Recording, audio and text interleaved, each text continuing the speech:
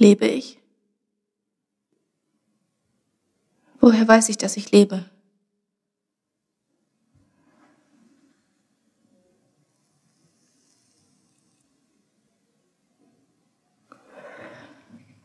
Ich schmecke diese Zigarette.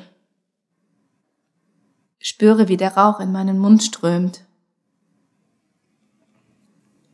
Und ich merke, wie das Nikotin meine Nerven beruhigt. Aber ist das Leben?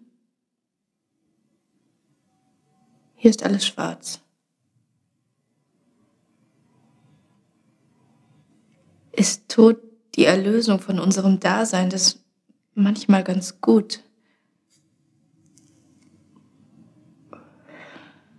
Aber alles in allem doch recht beschissen ist.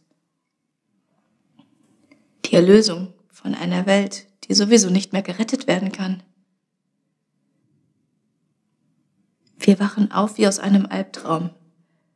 Und auf einmal befinden wir uns im Paradies.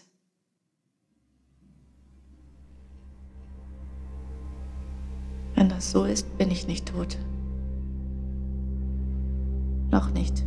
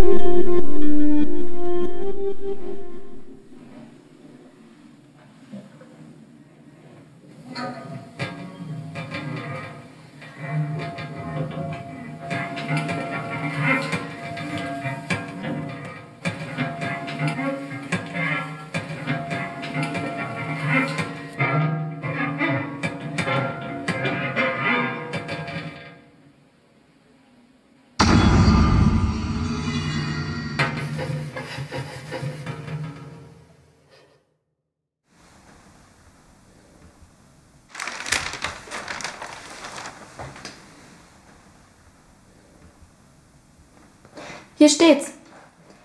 Die meisten Obdachlosen suchen gar keinen festen Wohnsitz. Sie sehen sich selbst als Lebenskünstler, die frei von jeglichen Konventionen leben wollen. Unsere Reporterin sprach mit Boris, 22, Komm, der, Sarah, den Toast. mit Boris 22, der seit einem Jahr obdachlos ist und sich als Straßenmusiker durchschlägt. Ich habe nicht viel, aber ich habe alles, was ich brauche. Und ich bin frei.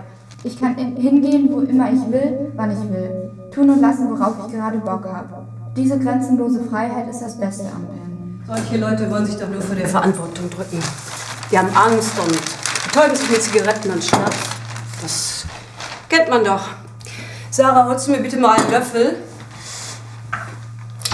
Apropos Zigaretten. Hast du Tim eigentlich mal diese Anti-Raucher-Broschüre gezeigt? Ich finde es wirklich nicht in Ordnung, dass dein Freund so viel raucht. Sarah, den Löffel. Wie siehst du denn aus? Sarah, Kind, was ist denn los? Ich sterbe heute. Was hast du denn genau? Jetzt erschreck mich nicht so. Was ist los? Ich weiß es. Es ist einfach da. Ich bin aufgewacht und seitdem weiß ich, heute Abend werde ich sterben. Das ist doch Quatsch. Du hast einfach schlecht geträumt. Hm? Wahrscheinlich hast du recht. Komm, jetzt setz dich erst mal hin und frühstücke was.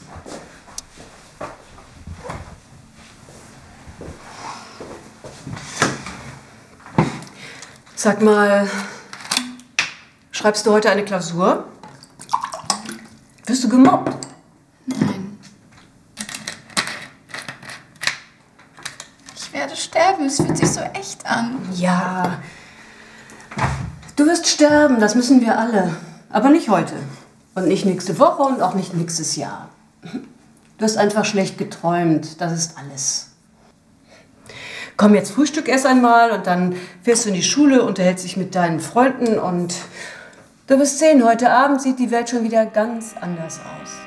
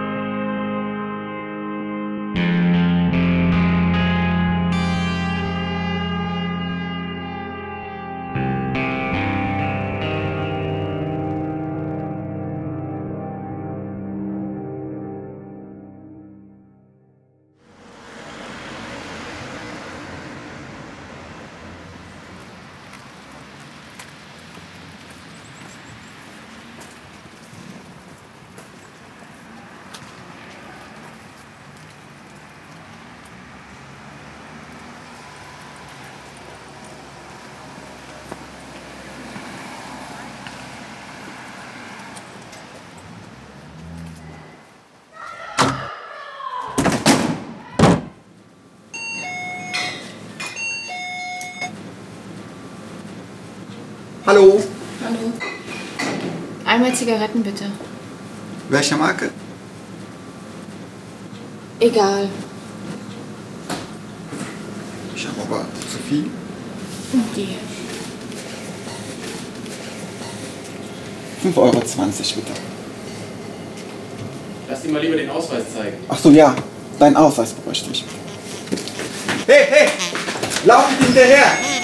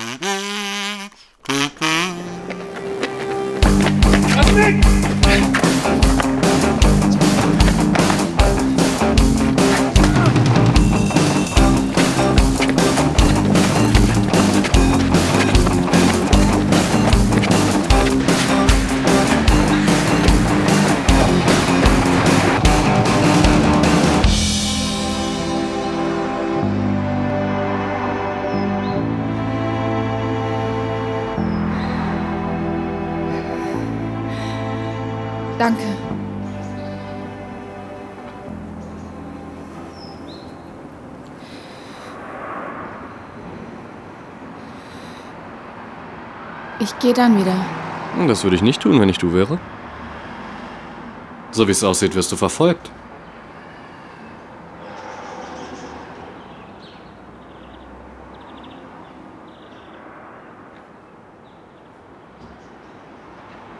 Hm?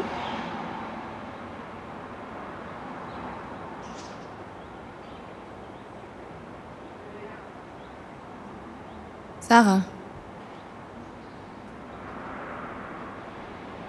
Sarah. Ich bin Jonas.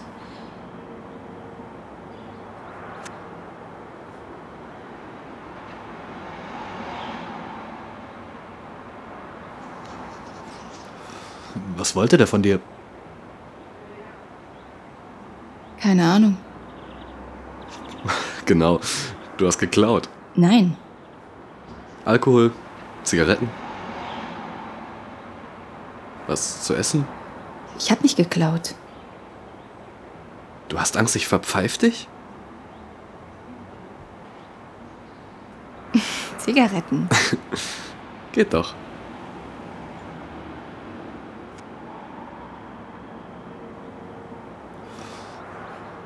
Würdest du heute den Tag mit mir verbringen? Hm? Würdest du heute den Tag mit mir verbringen? Von jetzt bis Mitternacht? Ja oder nein?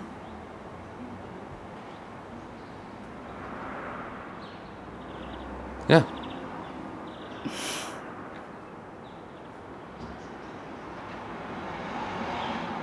Und Sarah, was machen wir an diesem Tag? Wir tun so, als wäre es unser letzter.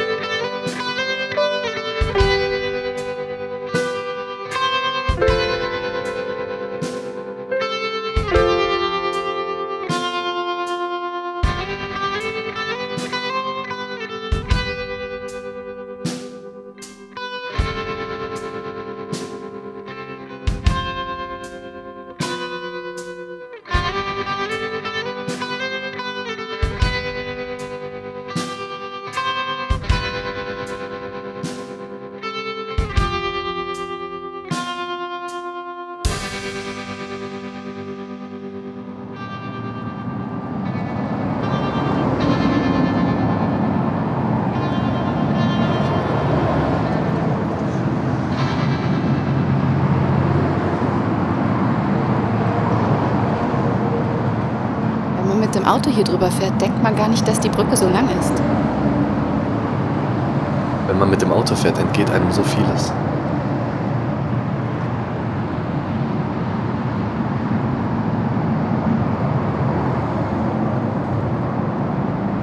Krass. Ich wohne keine zehn Minuten von hier und bin noch nie hier gewesen. Du solltest das mal bei Nacht sehen. Dann leuchten die Fabriken so, als ob sie leben. Ein riesiges Monster, welches über die Stadt wacht. Und zugleich droht sie aufzufressen.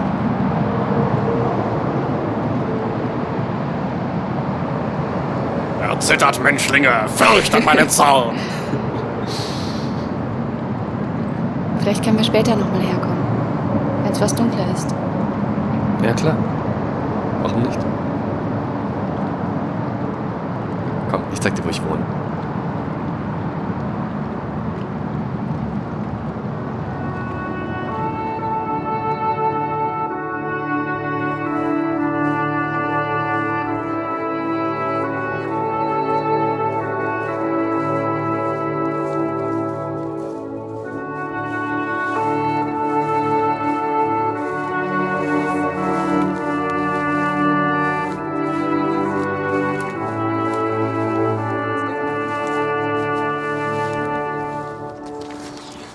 Tada!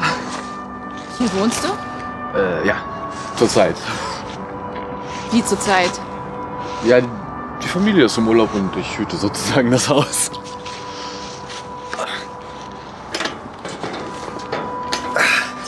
Also, was ist?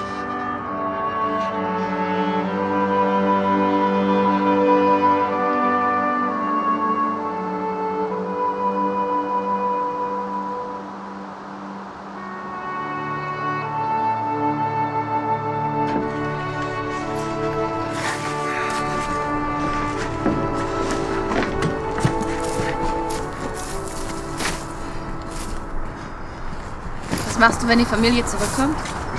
Tja. Da muss ich mir wohl was einfallen lassen.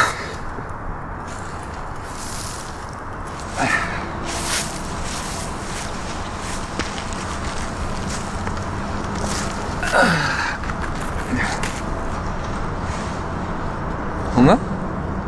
Mhm.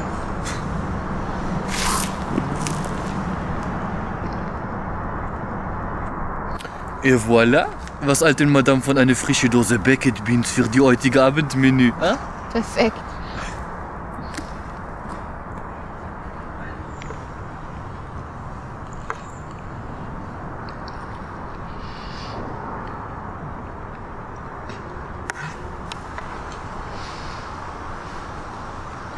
Ist das lecker?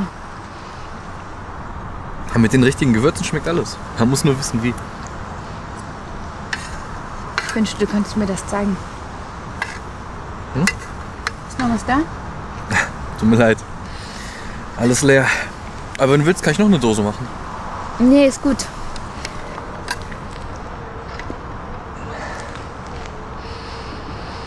Was sagen eigentlich deine Eltern dazu, dass du so lebst? Ich meine, die hatten doch bestimmt was anderes für dich im Sinn, oder?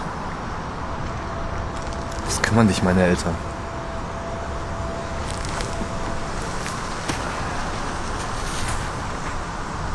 Tut mir leid, dass ich gefragt habe.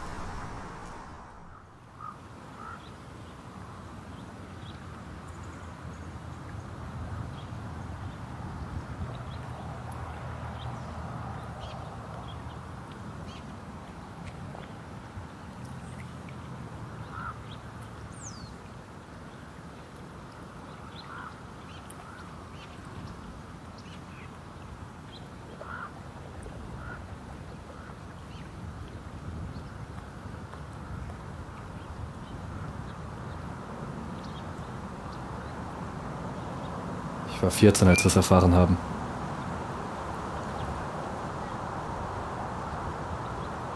Meine Schwester war krank. Das tut mir leid. Der Doktor hat ihr noch ein halbes Jahr gegeben. Das hat uns kaputt gemacht.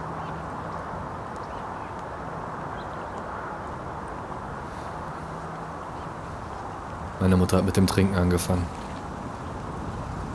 Mein Vater hat sich in die Arbeit geflüchtet. War nie zu Hause. Nur meine Schwester trug's mit Fassung. Zumindest äußerlich.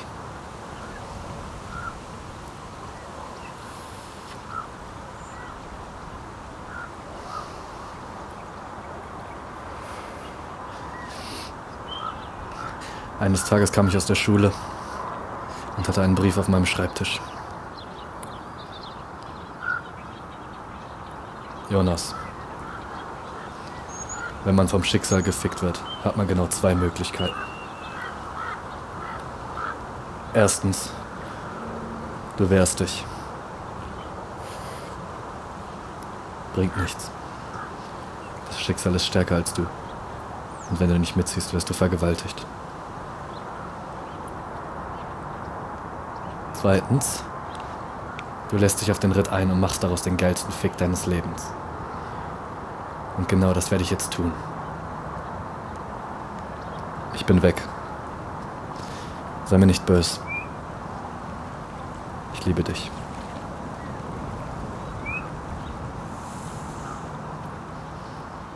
Seitdem bist du obdachlos? Seit zwei Jahren. Hab sogar noch meine Schule zu Ende gemacht. Danach sogar studiert. Du? Rechtswissenschaften.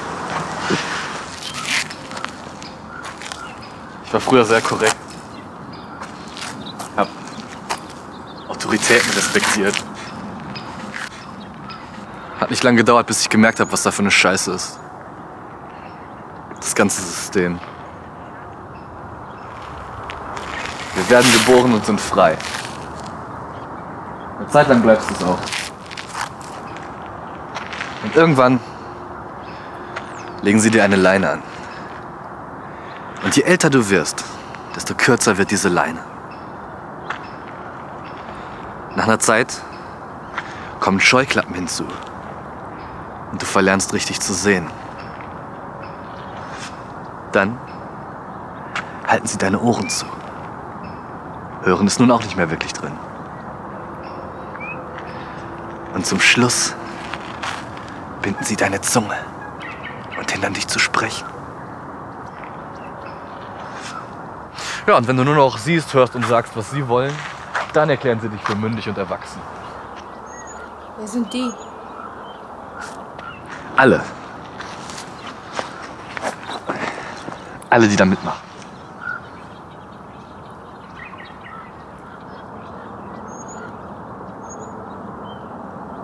Hast du schon mal jemanden getötet? Als wäre das die Lösung. Ich mein's ernst. Nein, werde ich auch nicht. Und wenn dich jemand bedroht? Ja, Notwehr ist was anderes. Ist es nicht. Ist doch.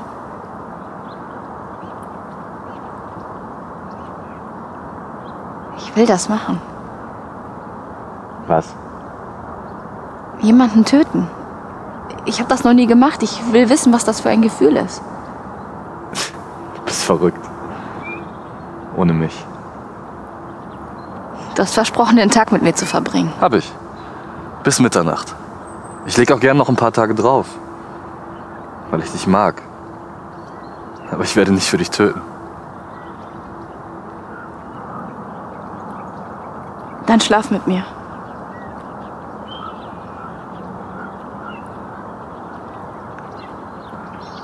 Ich mag dich auch, aber ich kann keine Tage drauflegen. Lass uns uns jetzt mögen.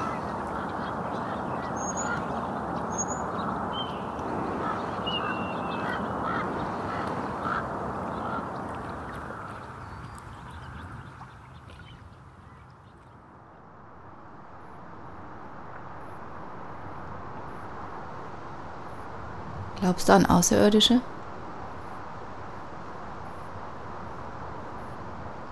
Warum nicht? Es gibt so viele Welten da draußen. Ich glaube nicht, dass wir die Einzigen sind. Hoffentlich nicht.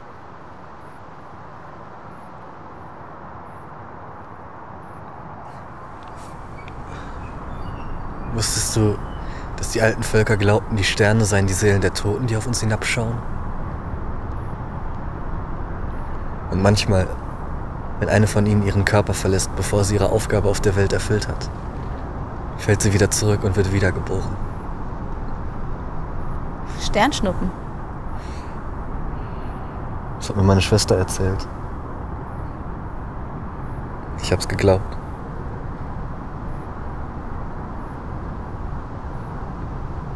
Wie alt war sie?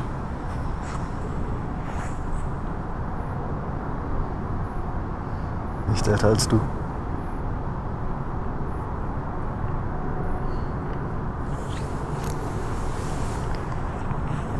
Danke. Für alles. Für den Tag mit mir verbringen. Hätte mir heute nicht schöner vorstellen können. Wir können es ja öfter machen. So, einen Tag miteinander verbringen. Das wird nicht gehen. Hast du einen Freund? Ich habe keinen Freund. Was spricht dann dagegen? Ich dachte, du magst mich. Tu ich auch. Ja, dann. Ich werde. Ich werde morgen nicht mehr hier sein. Du ziehst weg? Wohin? Ich kann dich besuchen, ich wollte eh nicht mehr so lange. Jonas! Es geht einfach nicht, okay?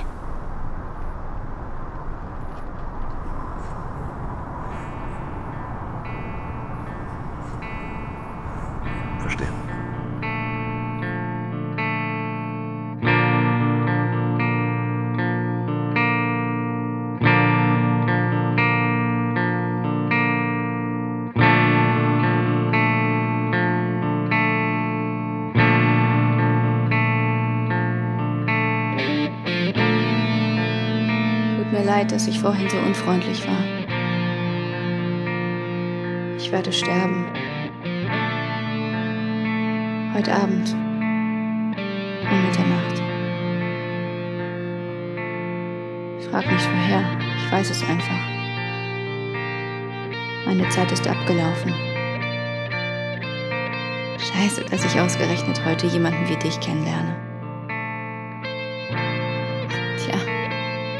Vom Schicksal gefickt. Es gibt noch eine dritte Möglichkeit. Du drehst den Spieß um und fixst das Schicksal. Mitternacht. Wenn ich gehe, dann entscheide ich wann. Ich mag dich. Vielleicht sehen wir uns ja wieder. als Sternschnuppen.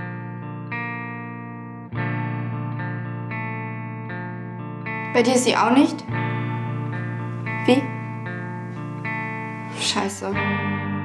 Nicht? Laut Kerstin war sie noch nicht mal in der Schule. Sie hat noch niemals die Schule geschwänzt. Vielleicht hätten wir ihr glauben sollen. Vielleicht, äh, wer weiß, was sie. Oh, Mama! Niemand wacht auf und weiß, Scheiße, ich werde sterben heute Abend. Das ist unmöglich. Aber wo ist sie denn? Wo? Ich ich weiß nicht. Abgehauen.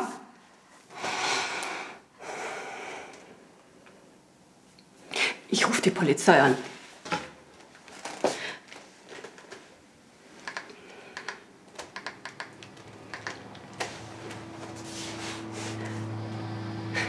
Ja, hallo? Ich möchte eine Vermisstenanzeige aufgeben.